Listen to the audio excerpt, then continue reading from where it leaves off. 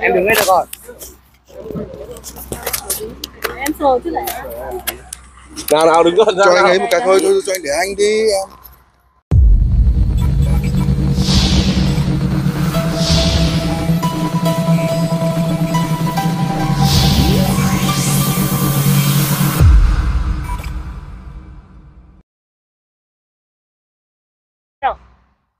À, trong những trận đấu gần đây hoặc là những cái giải đấu giao hữu vừa qua thì Nhã đã có thử hiện rất là tốt, thường xuyên ghi bàn thì em đánh giá như thế nào về phong độ của mình trong những khoảng thời gian vừa qua? À, nói về phong độ thì ờ, ờ, em nghĩ là em vẫn cần phải cố gắng và cải thiện nhiều hơn ạ. Ờ, ờ, để có thể ờ, có được những trận đấu tốt ừ, trong uh, kỳ SEA Games sắp tới ạ. Hai buổi tập luyện tại đây thì cả Ờ, thì lúc mới đầu xuống thì bọn em cũng khá là sốc với thời tiết ở đây vì ờ, thời tiết ở đây khá là nắng và ờ, khá là gắt.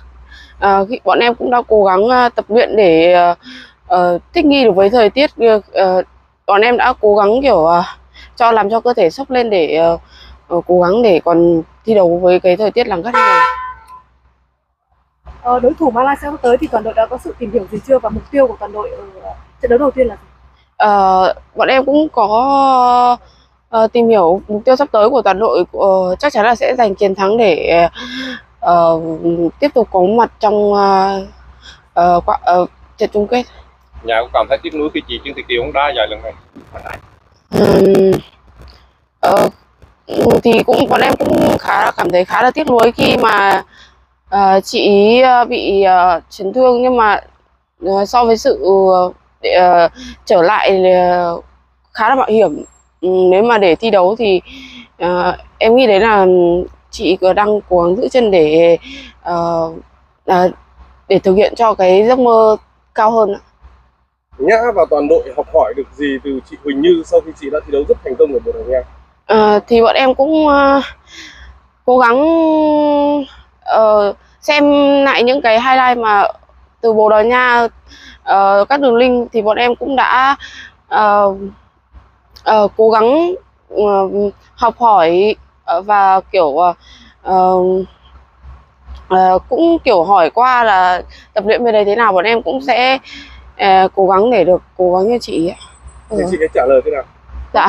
Khi em hỏi à, về chị ấy ở Bồ Đào Nha thì chị trả lời thế nào chia Chị- sẻ ra sao và giấc mơ của em em có giấc mơ ra nước ngoài thi đấu như chị Như không? Ừ.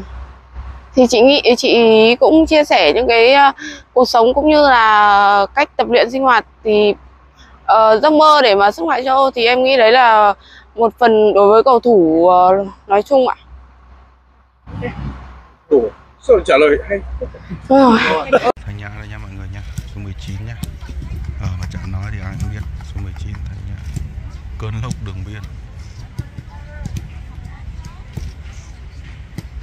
Anh Thanh Nhã thì từ hôm qua đến giờ thì vẫn đeo khẩu trang. Cho đến khi mà anh Minh Hải anh nói là cởi khẩu trang ra Thì bạn ấy nói là nắng quá.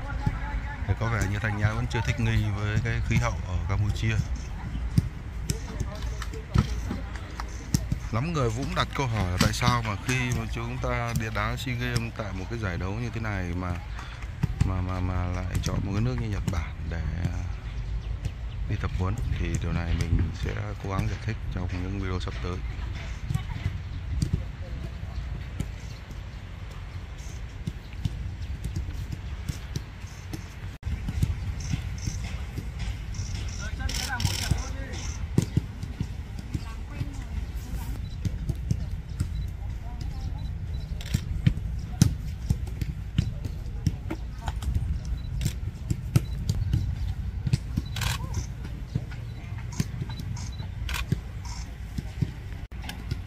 Anh ra rồi.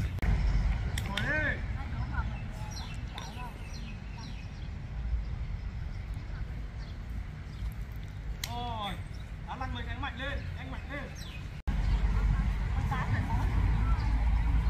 ngang đi, ngang đi, ngang đi. Rồi,